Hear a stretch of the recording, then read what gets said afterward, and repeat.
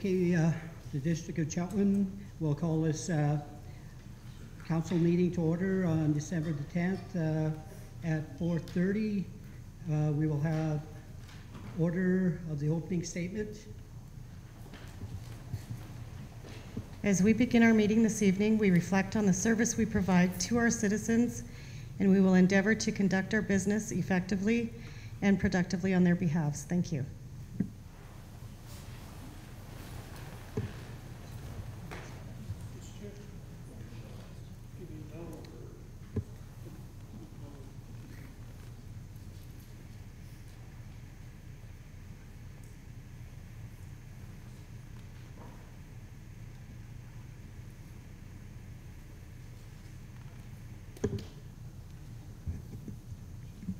If there's anybody else standing out there, we've got a little bit of room along the side here.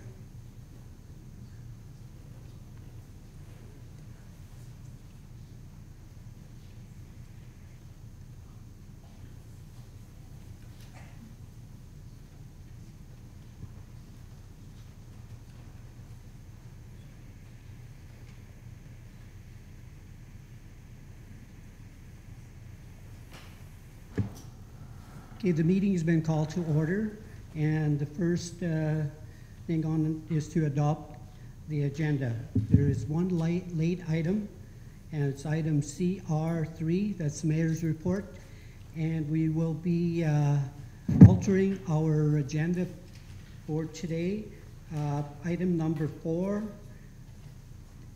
delegation presentation from MLA will go to just under new business. And then it would be public questions after that. And how the public questions will go, just for information, it will be directed to the chair, and then I will ask MLA Bernier that, so direct the questions to the chair, and then we will direct them to uh, MLA Bernier. Okay, first item up is, uh, we need a mover for the adoption of the minutes. So moved. All those in favor, carried?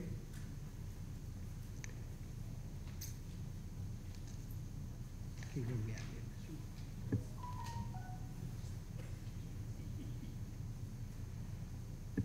Okay, um, minutes of the regular council meeting held on November nineteenth, two thousand eighteen. Second. Carried. And then to uh, minutes of the committee of the whole meeting held on November nineteenth, two thousand eighteen. Minutes of the public hearing held on November nineteenth, two thousand eighteen. So moved. All those in favor? Carried.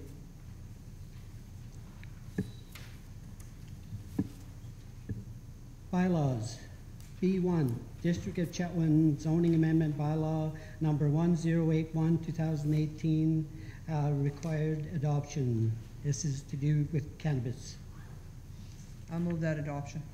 Second. Rochelle, second. Okay. All those in favor?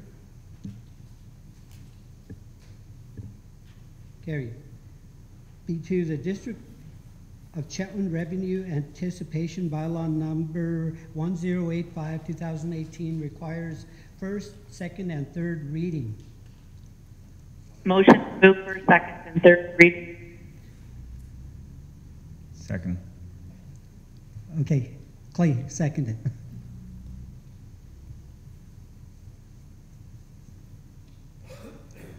Could we just get a brief explanation on this motion, just for clarification? Carol? Sure. This is a revenue anticipation bylaw. Um, Our Director of Financial Administration could explain it as well. Do you want to?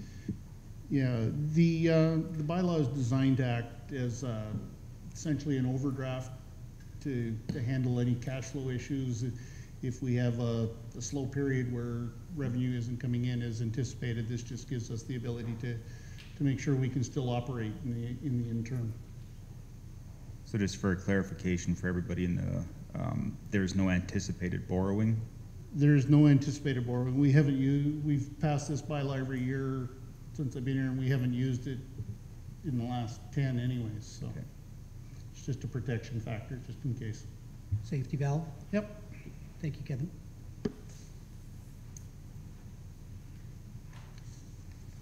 Any more discussion?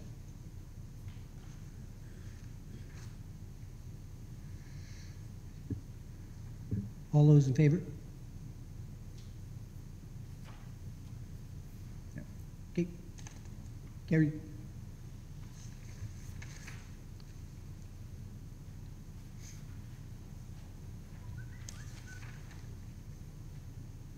Committee reports.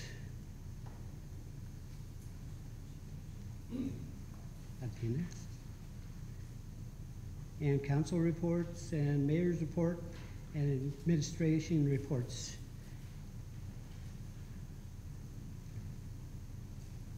Shall we move that we, they are in our, uh, can, can I make a motion that we're, uh, we- want to adopt those as, as is? So moved. Second. All those in favor? Carried. So items for discussion items, emails from Northern Lights College, uh, dated November fifteenth. You are invited. So I've indicated that I will not be attending. I've got another uh, engagement. I will be looking for an alternate. And email for the Peace River Regional District, November 21st, Peace River Regional Referral Temporary User Permit, file number 1828. Okay. you still would make uh, a We'll, motion. we'll make a motion for that, uh, Okay, so I, email. I'll go ahead and make a motion that council author- authorize an alternate to attend the Northern Lights College Board of Governors Annual Holiday Luncheon in Dawson Creek on December twelfth, twenty eighteen. Second. All those in favor? Carried. So, email from the Peace River Regional District dated November twenty-first, two thousand eighteen, the PRRD referral for, uh, PRRD temporary use permit, file number eighteen two eight eight. I'll make the motion that council receive for information. Favor? Carried. Email from City of Dawson Creek dated November 29, thousand eighteen. Save the, save the date. Ma- Mayoral update on the South Peace Health Service Society. Second. All those in favor? council authorize the mayor or alternate to attend the South Peace Health Services Society meeting in Dawson Creek, BC on December twenty-first, two thousand. Second? All those in favor? Carried.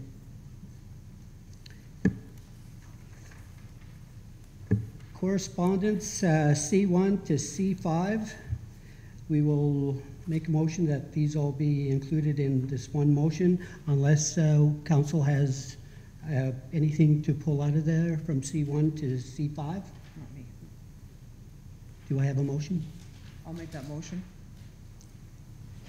Second? Favor? Carried? And also to do with information items. Is that it?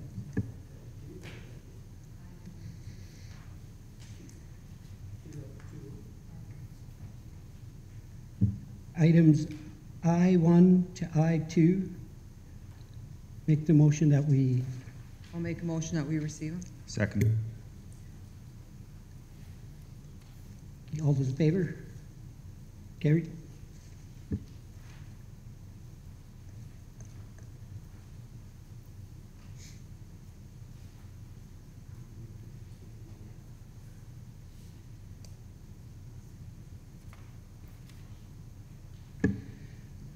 RA-1, 2019 council meeting scheduled.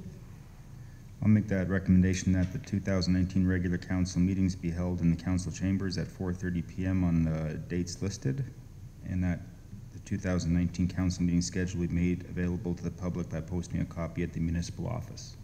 I'll second that. All those in favor?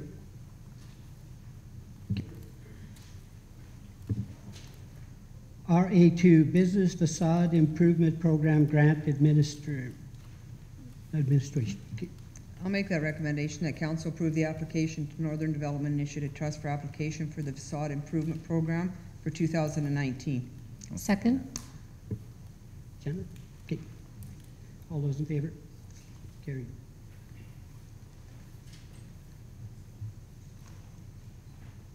And report for information, we have none. New business, none. And we will move now to MLA Bernier with the Caribou.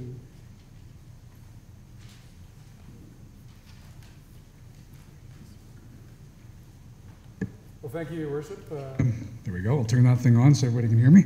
Um, This is my first time addressing uh, council since the election, so let me start off first of all by saying congratulations to yourself and to the newly elected councillors, and for those that uh, ran in uh, incumbents that got back in, congratulations as well.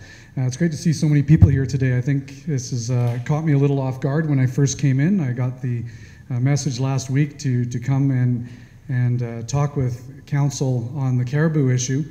Since then, of course, things have gotten a little, I think expectedly, uh, a little bit uh, heated in the region uh, for good reason. So let me just back up a little bit and give some information. I know, uh, Your Worship, you said you'd allow questions afterwards if, if people have any, and I'll do the best I can. uh, That's through- correct. Through you to, uh, to answer any questions. So the federal government, and I know some people in the room probably know this, but let me just uh, go back and give a little bit of uh, background and history on this. The federal government, back in about 2005, recognized uh, through uh, regulations that they had that we had to start looking at some species at risk across Canada, and caribou uh, was recognized uh, in BC and Alberta and other areas that as one of them. The provincial governments were tasked then to come up with policies or regulations to look at the um, uh, to look at ways to preserve the habitats that we have here in British Columbia. From about 2005 to about 2014, uh, things were taking place in the province uh, that would look at things like penning, um, some breeding programs, there was calling programs that were taking place, and it was a lot of that information was based on um, working with biologists in the province that were bringing scientific information forward uh, so we could look at the caribou herds in the region. Now, if we look down in the southern part of British Columbia, uh, there's one caribou herd down in the south that is down to three. And that's three females. And I actually went to Biology 12, so I don't know how successful they are going to be at uh, producing and, and growing. Uh, but in this region, we're actually still quite healthy. And in fact, the last couple of years, we've seen uh, an increase in our caribou population in the area. But some of the th- changes that were taking place in, in the past, as I mentioned some of them, and we worked closely with some of the industry partners in the backcountry, forestry, uh, mining, and oil and gas to look at uh, some of the impacts that they were having and how we could look at maybe mitigating factors around regulation. Uh, a most obvious one that people might know is, for instance, uh, you used to see our seismic cut lines that would go for miles and miles on end in straight lines, and so one of the regulation changes to try to stop around predation uh, for, for our wolves that we have in the area was to have more of a zigzag approach so you didn't have that line of sight uh, for predators. So we were looking at doing some uh, different changes, working with uh, stakeholders and working with different uh, uh, companies in, in the province. Take it to take it to today in the last year. So uh, we have a change in government. A new government has a little bit of a different approach on this, and they're still under the same mandate of coming up with uh, policies or programs to try to uh, help our caribou population uh, and species at risk. Uh, I have some concerns, uh, obviously, as I think some people in this room and I know council in the regional district has as well. And that is the fact that there's a lot of discussion that's going on and stakeholders and people aren't at the table to actually understand what's taking place. So it's hard for me to, uh, to actually tell you what the government is thinking because I don't know. And that uh, troubles me as the local MLA. My office, uh, Your Worship, is around 20, 30 feet away from the Minister of Environment and the Minister of Forest Lands. I see them almost daily in the legislature, in the hallways. I've talked to them uh, on this issue, uh, trying to get formal meetings. Uh, I've had probably four or five formal meetings that were set up over the last few months in Victoria, and with a couple of days' notice, every single one of them got canceled. So to date, I have not had uh, a meeting fulfilled uh, by the new government uh, on this issue. Uh, we have a, a, rural caucus because this is not just affecting this area. Anything that happens here will affect all of rural BC and British Columbia as a whole, I would say. And so we have a rural caucus that has put this as the top issue. We have sent over a half a dozen meeting request letters to the government as well and to the premier. And over there, we've had three of those scheduled, uh, the last one being three weeks ago, and they were all canceled as well. So to this date, the rural caucus has not met uh, with government. That brings uh, obviously a lot of concern. I know some of the council councilors from uh, here, as well as the regional district. Uh, I set up meetings down in Victoria about a month ago. Some of the mayors came down and were able to meet with uh, junior staff, I would say, with all due respect to them within the ministries, but those aren't the decision makers. Uh, so they weren't able to give any information. They were able to gather some concerns and hopefully pass those on uh, to the minister. I was actually really excited for uh, last week when they finally admitted to coming to the area, uh, agreed to coming up and meeting with the individual mayor's councilors, uh, myself, and some of the stakeholders. Um, and as we all know, those meetings got canceled. I can't tell you why. My assumption is is that we are starting to get um, more understanding of how important this issue is, the, the impacts that, we will, that will have on the region if these uh, closures take place. So obviously what's happening is the government's basically gone to a map and circled a, a large swath of land saying this is caribou habitat, and then we can all argue whether people have even seen ever in the history of man here a, a caribou in that area, but that's still up for debate. But uh, the point is, uh, I know the uh, Snowmobile Association met last night. Uh, numerous councils have meeting uh, had met. Um, I've got numerous meetings this week with most stakeholders that I can think of uh, on this issue, and the message is the same. They all have uh, a huge desire to have the backcountry open for whatever their clubs' uses are every single group I've met, including uh, yourself, your worship, and council, has said, of course, we have to do what we can to try to preserve and save uh, species at risk in the backcountry. Uh, but that has to be based on science and it has to be based on consultation, it has to be based on discussions so people can actually bring their issues forward. Uh, right now, when you look at the fact that nobody's been at the table, it's been hard for us to really, um, to really express to government uh, how important this is. I know for Chetwynd specifically, I've met with uh, the mills that operate in this area and the mining companies uh, in Victoria quite recently. They have all said the same thing. They haven't been able to have a meaningful discussion with government, and what their fear is is if if the backcountry usage of all people, including our industry, is not taken into consideration when uh, no-go zones are determined, that could have negative economic impacts, which now affects communities and the livelihoods and the families in the area. Uh, the same people that also have the recreational opportunities in the back. Uh, the companies, I don't think they're over exaggerating when they say if they don't have the access to the, to the land base that they need for their industrial operations, they don't know how they can operate in the area. So I know uh, yourself and council uh, I know you've been trying to get the message out there as well, uh, how important this is for your community, and I applaud you for that.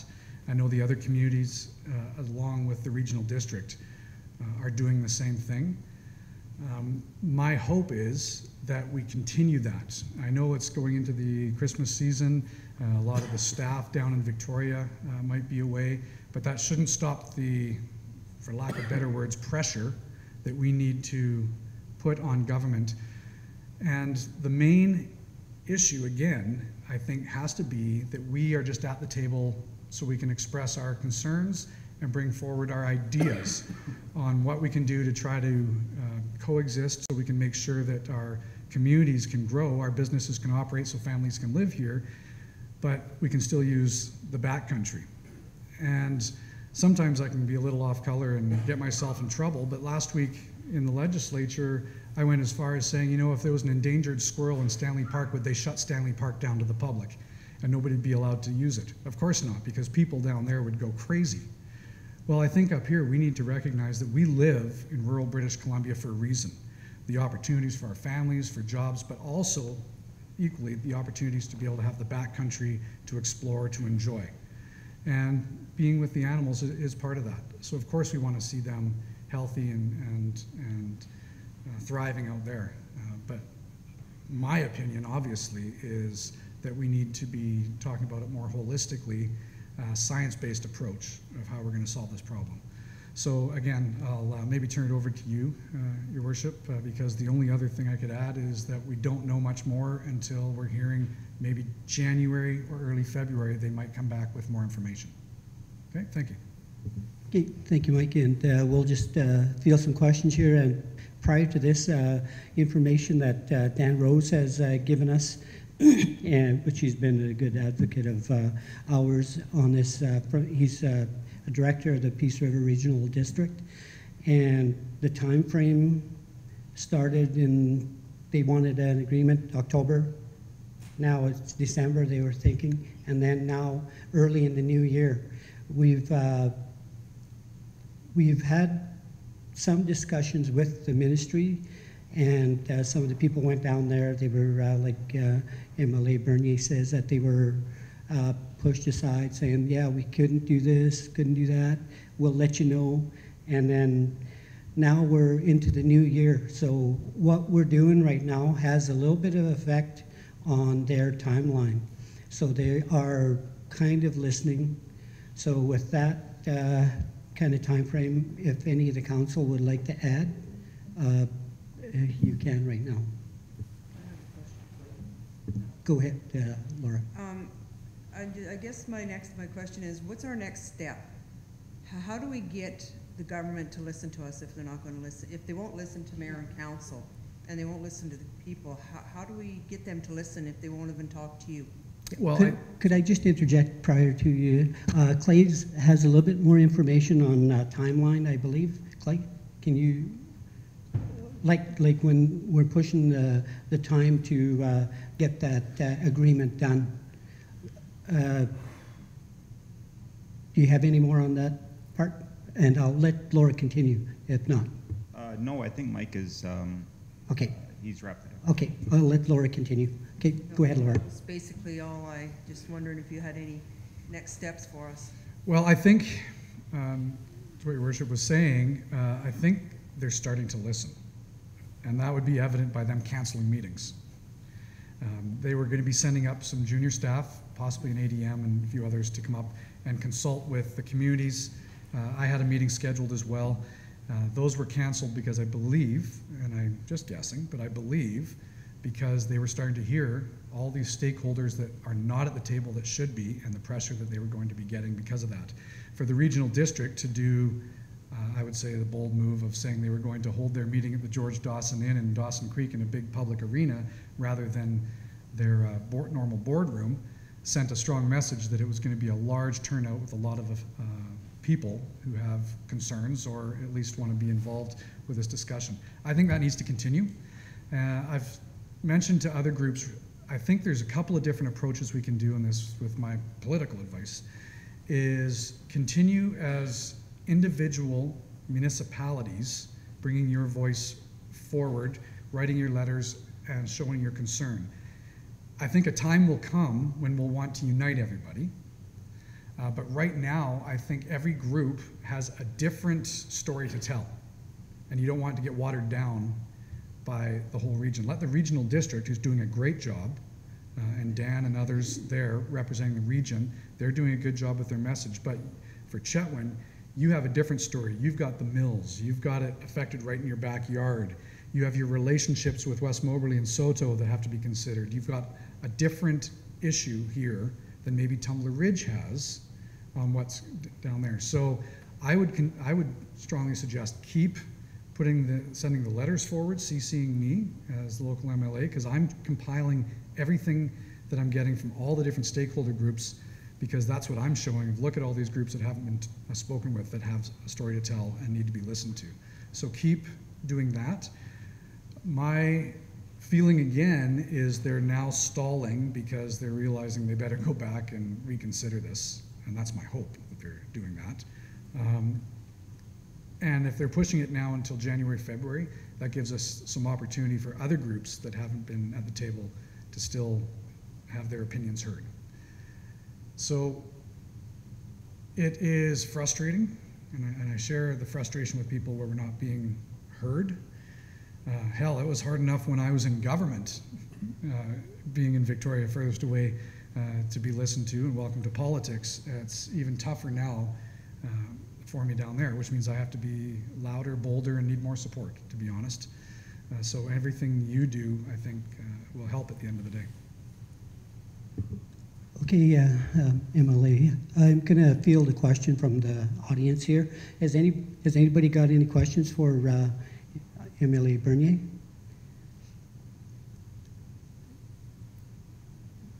Yes. Um, would it help if us as individuals were to send letters in? Do we send them to you or?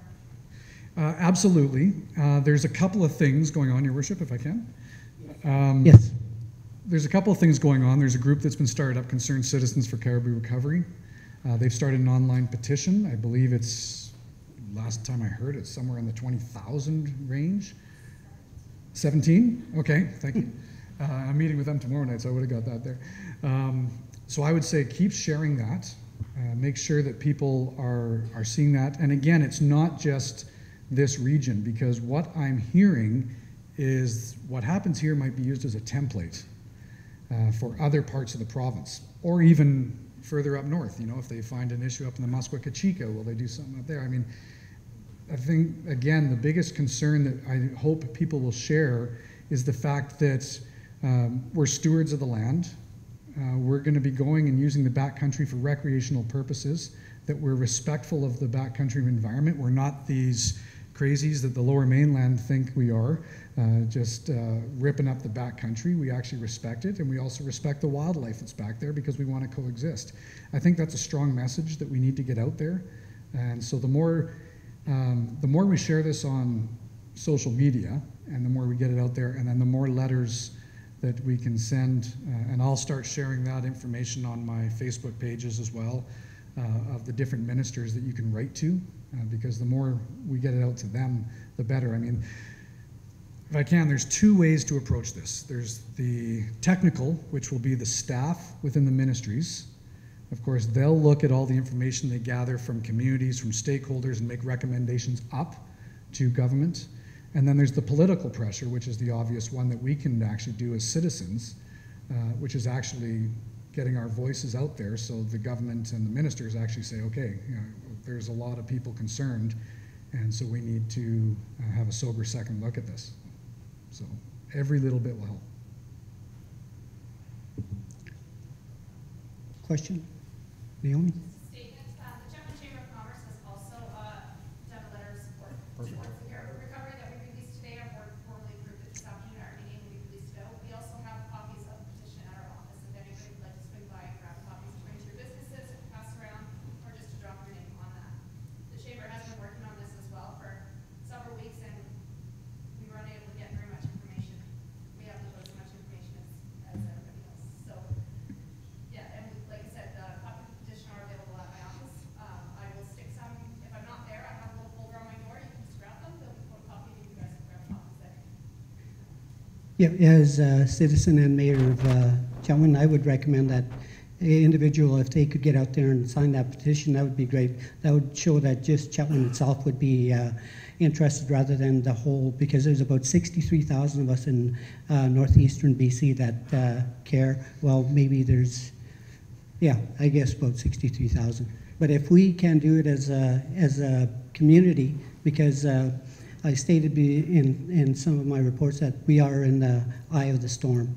And as uh, MLA Bernier is indicating, Chetwynd has everything to lose right now. And we don't want to lose any of that because we are pretty fortunate right now to be in the position that we are moving forward in our economic gains. And if we lose that, we will, we, well, I just, I, I don't even want to say it.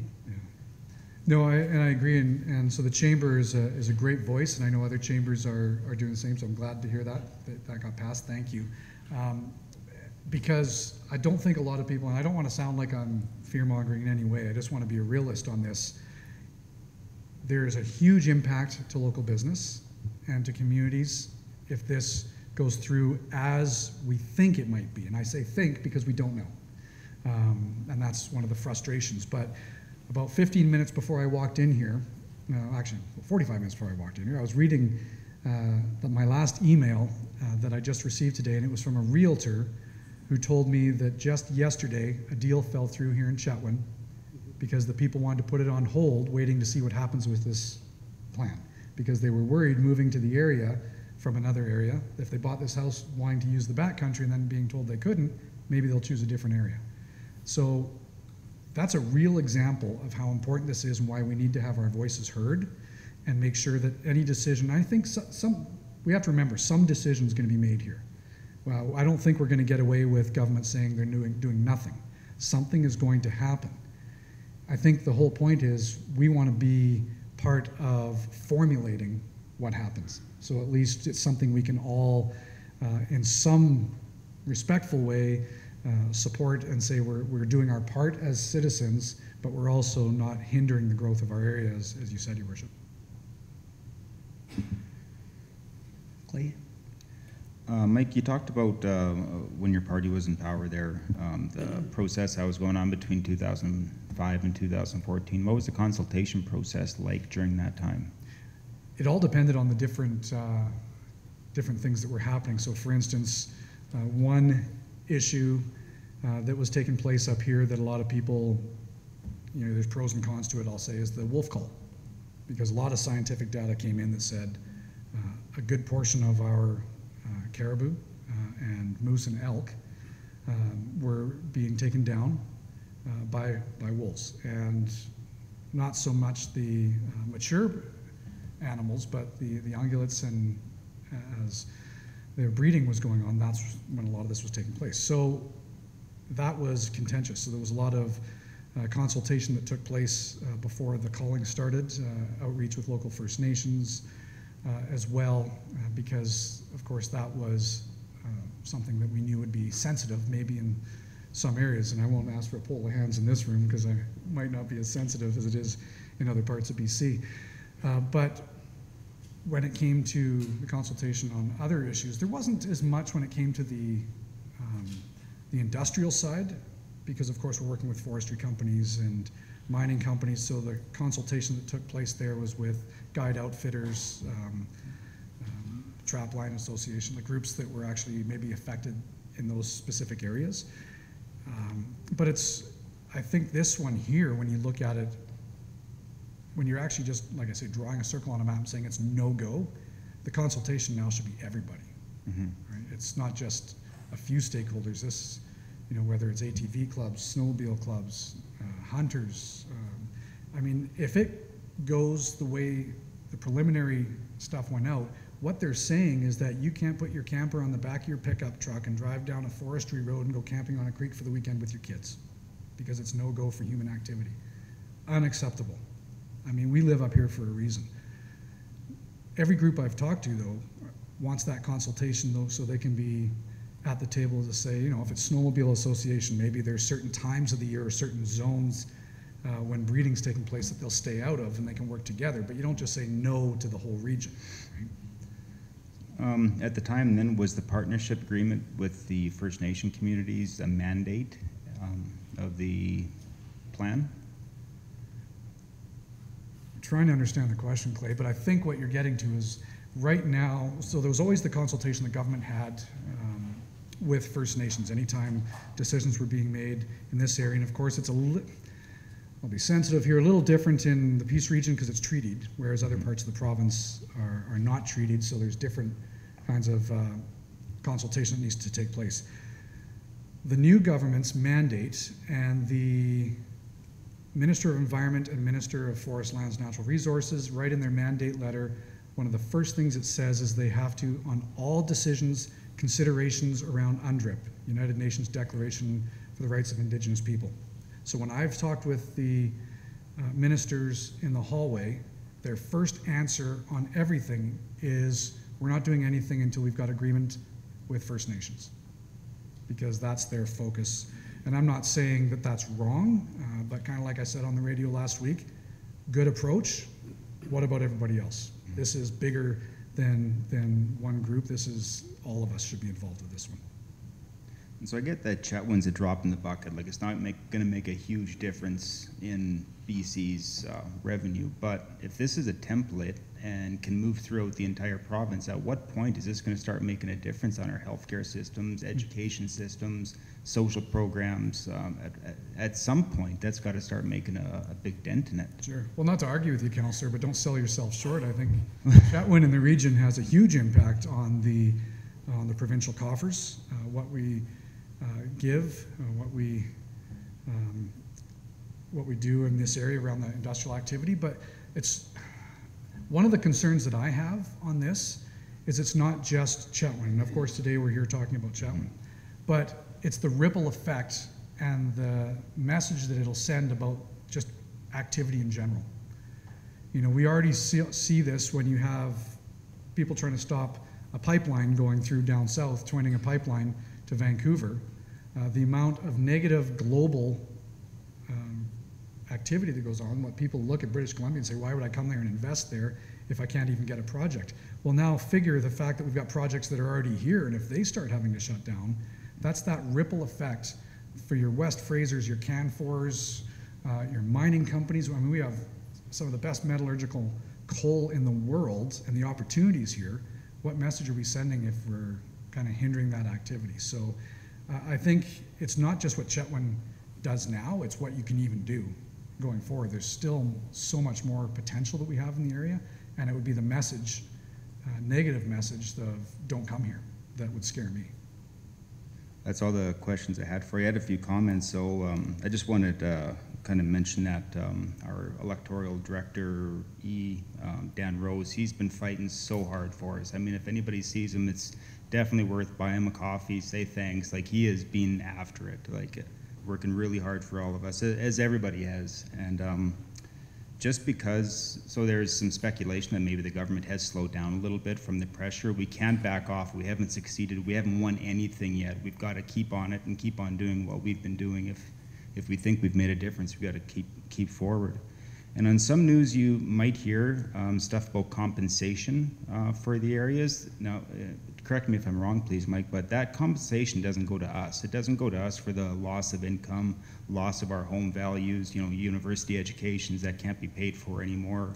Um, it doesn't. It just goes to the large companies, and those companies will. They'll still be profitable somewhere else, um, probably outside of BC by the sounds of it, but they'll carry on and invest somewhere else and continue to be profitable, take the money out of here. But it doesn't go to us, I don't think, right?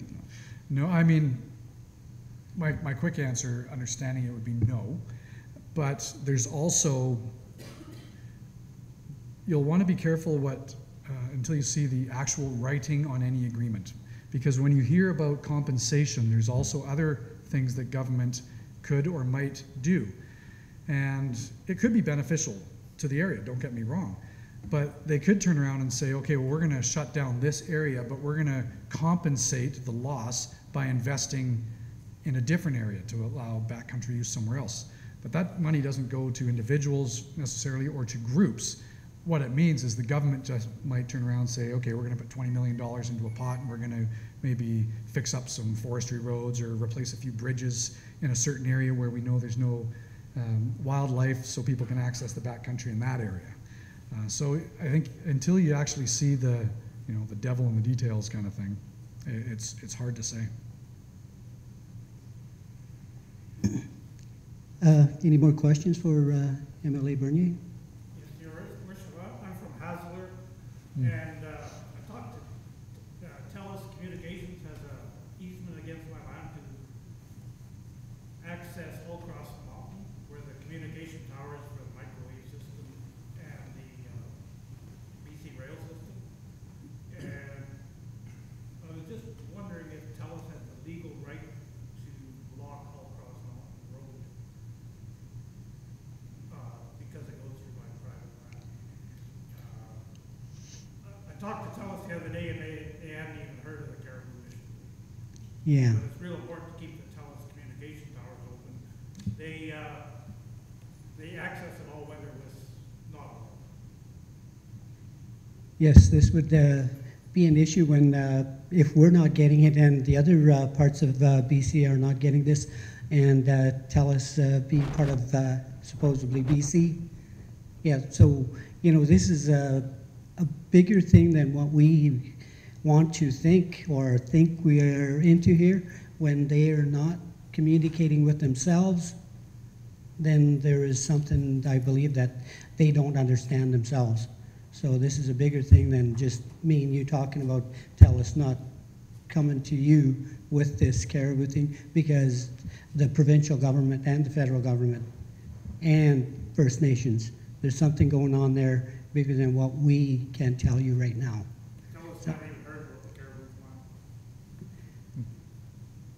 Mike, you have anything on that, Ms. Bernier? Well, the only thing on that, I mean, obviously TELUS is a, uh, TELUS is a private company, uh, so of course they don't fall under uh, the discussions, say initially, uh, with, with the government, but they would be considered one of those stakeholders, no different than any other company operating in the area, that needs to be at the table, because if they shut the backcountry down and then they can't access a tower, you know, we'll end up in that situation, which governments are horrible for, where they make a regulation and then they realize afterwards how horrible it was and start putting more exemptions in than, uh, than they should have had to, and then eventually sometimes backpedal. But I mentioned it to the Snowmobile Club last night, and I know there's a few people in the room that are here representing them. Um, we have to remember that once, once this is done, once land is protected, the odds of getting it out is almost impossible. I mean, anybody up here who has agricultural land in the reserves trying to get any land out probably shares that frustration. Once a land, like, and we have 40% of the land already in British Columbia is protected by, by some form of regulation. Uh, this will just increase it, and it's so hard to get it out once it's in. So we need to do what we can as citizens and as elected officials to get it right the first time, uh, because if we don't, it, it could have a lot of negative effects. Uh, Mike, you mentioned on, uh, oh, sorry, Ron. No, you go Oh. Uh, you, you mentioned about the a home deal that may or may not have fallen through in the last year or two. I think almost every real estate agent in town is in here. Is there somebody that might want to comment to that, or? I had the same thing, so, the same, uh, the guy back over business here. Yeah. So do you need us to line up in Victoria, Mike, for you, or? Sorry, I missed that. Do you need us to line up in Victoria for you, or what do we gotta do? Well, I think, if I can, um, I think what we have to do is what we're doing right now. I mean, it's obviously working, starting to work on getting the message out there that this is a concern. And obviously, when you look at the turnout today, uh, you know, well, I, guess I should say every council meeting's like this, right? Yeah, in Chetwynd. Um, I can tell you, all my time in mayor, I never had, you know, like this, except for when we were building the multiplex, but I digress. Um, but I think this is something that we need to continue uh, getting the message out there. When it comes to Victoria, there's a couple of things. We're out of session right now. We go back into session uh, second week of February. So there's pros and cons to that. Um, depends if you, how I answer if you're my wife or not, on whether I'm home all the time or not right now. But we have a lot of opportunity here to gather information, to have our local meetings like this, to make sure that we're compiling that. When I get back down in February, that's when all of those stories can actually hit the floor in front of the media. Because if there's petitions, I, there's actually times for local uh, MLAs to stand up in the House to talk and to present petitions on issues. So the more we have locally, it gives me more ammunition down there. I think what's going to end up happening, if, if I have the crystal ball on this, if we can keep pushing this to hopefully into February or March before any decision, rash decision is made, it gives us the opportunity of a captive audience because the Premier and all of Cabinet and MLAs are all in Victoria at the same time as myself, which is when by then I think they will have nothing but a choice to actually start listening to the mayors and councils in the area that they haven't uh, to date. So as long as we can create enough of a, of a uh, delay uh, to get us back to then, when everyone's back, uh, then we schedule the meetings. And I think by then is when the shotgun approach will have to be more consolidated uh, into uh, all the groups, all the mayors, councillors, regional district as one loud, strong voice in Victoria all at the same time. Uh, and that's something I can coordinate where we get everybody down there. If it has to be on the front steps of the legislature, so be it. Uh, if they won't meet with us inside, but it might come to that. Ron? Mr. Mayor, uh, I don't know if Mike's aware of this, but I think the template has already been set in the province. And I stand to be corrected because I heard this at the A and W. It must be true. And you know how reliable that is. But anyhow, my understanding is the provincial government is already taking a small section of the west coast of Vancouver Island and done almost the same thing they're talking about here, only not caribou, but they want a, a, a pathway for whales, seals, etc. And what they've done without consultation to any of the sports fishermen or anybody else, they've just gone ahead and done it. So I'm afraid the template has already been set. Now, I could be wrong. And then my second, my second uh, thing I want, this is a question to you. Provincial elections coming shortly. We know how you feel about this situation because of where you live. But my question to you is, what, what are the rest of the provincial liberals, how, what's their feeling towards this thing? And how are they gonna take it to the next election? Thank you very much. Sure. Well, thank you, if I, if I may. Good question. So first and foremost, far be it for me to argue with anybody from A and W That's right. in Chetwynd. Um, in fact, I got a phone call the other day from uh, a group, the A and W group, saying, "Stop advertising all your all your crap on Facebook. We're not on Facebook." So, so we got to start going there more often. But around the template issue, I- I guess you could say yes, templates are in place on things like this. If you look at what was done a couple of years ago around the Great Bear Rainforest, uh, templates, you know, they're all maybe uh, not exclusive, but the idea of putting land protection does and has taken place uh, in the province already. So this wouldn't be by any stretch uh, the first time, right? If that's what you're alluding to. And on the on the coast, there is uh, some regulations and some protection uh, that you're talking about as well. I don't know all the details, but I have uh, heard about it. So yes, there are and continually is discussions around protection or preservation of land base in different areas for different reasons. Okay. And if I may interject there, in the interviews I saw, the fishermen, the sports fishermen in particular, had no problem with looking after, same with us. We mm-hmm. feel the same way about, about, about the caribou. They, they feel the same way about the whales, et cetera, et cetera. But there was no consultation. They just went in and did it. Mm-hmm. And now these fishermen, and it's already, now these fishermen, they, they're not, they've got fishing boats, but they can't be hired out for sports fishing. They're, they're literally unemployed. Yeah, and that's obviously something that we want to avoid up here, which is what we have to make sure at the table. And I, and I think most stakeholders and groups are saying, you know, we want to make sure we're doing our part. And if you look at uh, more of a science-based approach, so where are the animals, what times a year? I mean, there's a whole bunch of different things we can do. And most people are understanding of this. If you look at the Skeena River last year, of course, the sockeye and coho runs were lower than expected. The data, scientific data showed that, so they shut it down to sports fishing. Were they all happy? No, but they understood the reason why, because they want to be able to come back the year or the year after to fish. So everybody tries to do their part. Uh, so again, the template, to your point, there are different styles of templates out there. Now, to your other question, um, I could only hope, and this is, I'll try not to be too political, I could only hope that there's a provincial election coming up uh, soon, but right now it's not scheduled till the fall of 2021.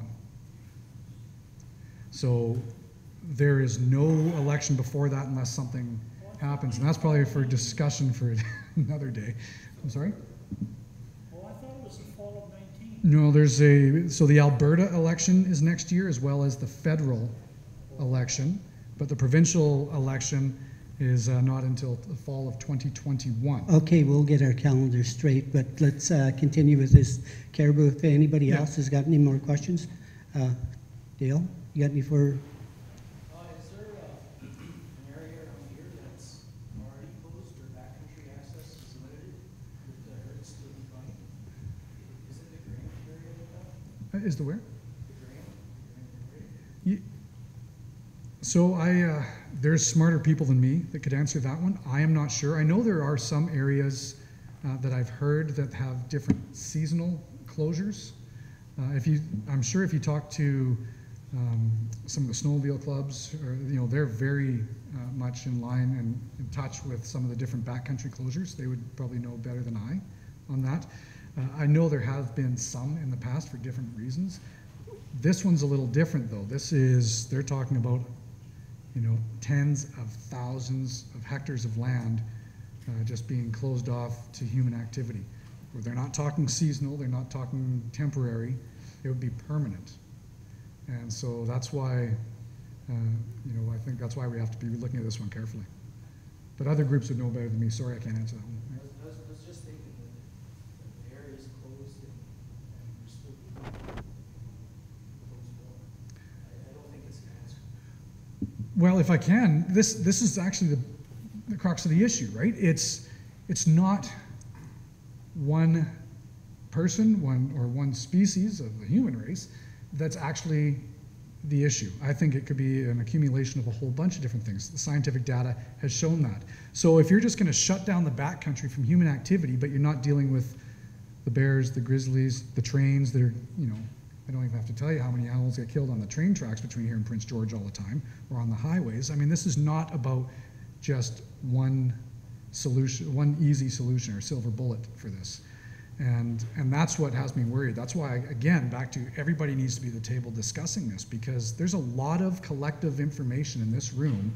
People that use the backcountry that know where the animals are, they know what the impacts are, and they can actually share that, uh, which I think will help at the end of the day. One more question? Neil? Hi, Alan. Um, When you say a, a no-go zone for all human activity, do you really mean all human activity, or do you mean, um, is there maybe some compensation or some concession for some peoples? Well, what I'll say right now to that is we don't know. Right now, um, right now, the only thing I do know, 100%, is that the ministers have been meeting with uh, local First Nations in Saulteau and West Moberly. What decisions or agreements have been made there, I'm not, I don't have the knowledge, nor would I be probably privy to tell you that if I did. And that leads me back to the whole point of this, though. Again, is the last thing we want is decisions being made without everybody being at the table, right?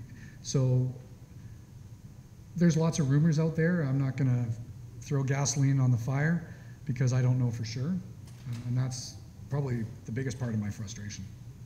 Yeah, with the, the answer that uh, MLA Bernier has given you is exactly what we get when we ask our neighbors, and we don't know what's going to be closed and what the where the map is and where all that goes. So until we have that person at the table to to negotiate for us, we, we cannot answer your question. We just don't have the answer for you right now. But we're hoping to be with you in January, telling you, yes, this is where, what's happening. And hopefully we'll get to that point where we're not shutting down everything like, like what we think. So we can't answer that right now, Neil. Emily? Counselor? Um, yeah, I just wanted to kind of piggyback on Dale's comments there. I was doing some reading this weekend too, and in Banff, Banff National Park, which I don't think there's a lot of industrial activity going on or anything there, uh, that herd is pretty much all wiped out uh, naturally. So um, going back to what Mike said too, like things have to be scientific and based on science before you completely cripple an economy. You got to make sure what is going to happen is actually going to work. And if this is what needs to happen, if if this is what needs to happen to save it, then I guess we can have that discussion. But when you're unsure, when you're going to completely cripple an economy based on a plan that might work, probably not. Um, and, and how much? Like, does it have to be this big? Um, can can it go on on half the area that they're talking about? Like we keep on hearing from government that this is science based, but I have a hard time believing that when there's a negotiator drawing the circle on the map. If it was science based, you'd think there'd be a wildlife expert drawing the lines on the map. But that's just my thoughts. Yeah, no, and I and I totally agree, and that's I, I think at the end of the day, that's what we're asking for. If it's if they do have the information, then share it and say we want to close down this area, and here's the science to back it up. I don't think they can do that because I don't think they've got that level of detail. I think they have some knowledge of how many caribou are out there. Uh, they know how many are in decline, but without looking at it again holistically, it's a little bit of a knee-jerk reaction, and I'm sorry if I offend anybody in the room when I make this comment, but it's a bit of a knee-jerk reaction when you shut down grizzly bear hunting in the entire province and say no hunting grizzlies. I've heard from numerous people in this area, whether it's trappers, guide outfitters, or sportsmen, who say, do, you, do they have any idea how many grizzlies, first of all, we have up here? And the tags were let out on a science based approach that was a sustainable approach for harvesting. But now, without that, and with them being allowed to grow uh, their herds, what's that impact going to have on other parts of the food chain uh, as we go down? So it, it could affect not just caribou. Uh, You know, with the amount of wolves and the predation that we have in the area and grizzlies, I mean, it's other species as well. And so again, this is not just drawing a circle on a map and all will be good kumbaya moments. It's not going to happen. Counselor Laura? Go ahead. Mike, I know when we, this all first started, we were told that there was a deadline, that, that um, the federal government wanted the provincial government to have contracts signed with the First Nations by the end of November. Well, that's come and gone. Um, Do you know any more about that? because you said you don't go back into session to the second week of February, which is a long time from now, and a lot can happen within a month and a half. Like, do you know of any more timelines and You if don't- and when they're going to sign agreements? Sure. Well, my hope is one isn't already signed already. Is it still with jurisdiction? Yeah, so, so there's two things here, again, uh, to the gentleman's point. So the federal government is saying to the provincial governments that you have to have a policy in place to protect your species at risk, and in caribou. But if you look right across the border in Alberta, Alberta just pushed back and said, you know what? We're starting to talk to our stakeholders. This is bigger than we thought. And they pushed back to the federal government and said, we need more time, we need more money, we need more research, we need more data before we can come up with a, a plan. Don't download it completely on the province. Our provincial government here has not pushed back yet to the, to the federal government. I'm hoping with what we're doing, it might send a message to them to piggyback with what Alberta is, uh, is doing. Um, but the only thing I can say around the timelines is, and I probably got the same emails as you, but last week when they canceled the meeting with me again, the email they gave me said they're taking a new look at all this and they will get back and try to reschedule a meeting with me at the end of January. And that was the extent of the email I got. So that gave me actually a little bit of hope because they better not be coming out and announcing something before they've actually met with people. So at least that's six weeks away. Right? two things I want to talk about. Um, One Okay. is not just the, um, when we get a major fire, what's gonna happen to this whole valley when there is a fire? We are gonna be in trouble. And another is, um, you can share and share all you want into the newspapers and on Facebook, but the people are saying, well, I don't believe this because it's not on the news. With Global BC News, who owns them? Because the emails and phone calls going to that TV station, nothing is done. Yeah. So this is where, where I can come in uh, as the local MLA, and I'll, I'll be blunt and say it's been hard because the last two months has been consumed around this referendum around proportional representation. Uh, I won't even get into that one today because that's, that ship sailed, uh, the deadline's over, we're waiting for the results. Uh, but media was consumed by that and consumed by some other crazy stuff that was happening in the legislature the last uh, couple of weeks. One advantage of being out of session and going into the Christmas season is the media is craving for inf- information because there's not as much out there. You know, uh, if they're having to talk about in Vancouver somebody's dog went missing and somebody found it and that's the top story, obviously they're looking for news. So uh, we have an opportunity. I, I know the people at Global and I've been giving them this information as well, and it hasn't percolated uh, into the, the news cycle yet. Uh, but I think if we can keep this kind of activity going, uh, it'll be important that we do that. Uh, and the gentleman over here, when he was saying, um, although it's not an election, but the rest of the Liberal caucus, it's uh, this, yeah, there could be an election. We'll get into that. I'll come by the A&W. We'll have a talk on this. Uh, it's a good talk. We'll need a couple hours for sure because it's crazy right now. That's a different story. But the uh, from the BC Liberal Caucus, we have the Rural Caucus, and this is the number one issue that we've put forward on the agenda. So we've had our own meetings. We actually have just put a paper together uh, last week. We just circulated it today with, internally with the MLAs and the BC Liberal side to share with the media to try to get some traction on this. Uh, because aside from three or four, almost every single rural MLA is in the BC Liberal Caucus. So it's something that we talk about all the time. And so my hope is, is that we can get it into the media. But to what you were saying, here's the uphill battle, and I think we all know this. You look at the other stories that are coming out there on this issue. Um, UBC yesterday, one of their um, um, professors came out with a paper saying that, sorry, rural BC, you're going to have to feel the pain. And I think that was the quote unquote what they said because they said, you know, we've lived for so long with the industrial activity in rural BC at the detriment of Mother Nature, and it's time to let Mother Nature come back. That's what we're faced with. I think most people know that's what we're faced with with people down south. Uh, and that's the way they, some of them, think. They don't, they've never been here, they don't understand. They think that we're doing things we're not. Uh, you know, they hear about fracking or mining and they just figure it's the rape and pillage of the land. Um, so that's also what we're up against, not just the politics of it.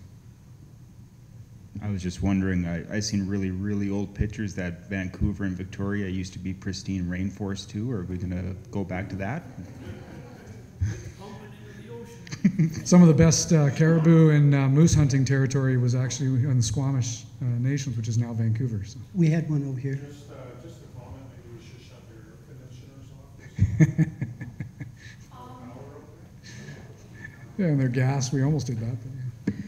Um, yeah, just a quick question here. Um, if they do decide to place restrictions on backcountry usage, what options do we have?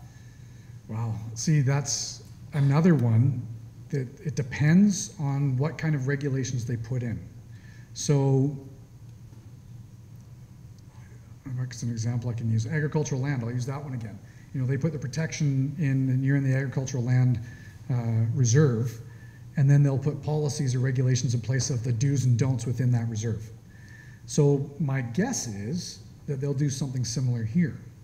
Uh, so back to the point of why we have to make sure that we're feeding as much information as possible because when those regulations come in and they protect, we want them to shrink down to the point where they're protecting the area that's actually the crucial area that needs to be protected, and we can probably agree with that. And what kind of protection, whether it's seasonal or what have you.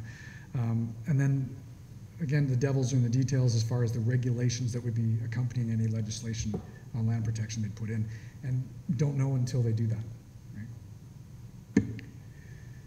Okay, uh, with that, then, what we, uh, as uh, members of Chetwynd citizens, uh, when we go into negotiations, when they're going to ask us to go into negotiations, uh, split uh, between community and outlying areas and snowmobile clubs and maybe say the cross-country ski team, whatever.